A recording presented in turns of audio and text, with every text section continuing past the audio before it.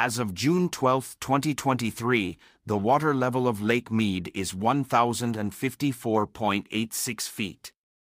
This is 174.14 feet below full pool of 1,229.00. The water level has been rising since April, when it was 1,049.77 feet. The rise in the water level is due to a combination of factors, including increased snowmelt in the Rocky Mountains and increased rainfall in the southwest.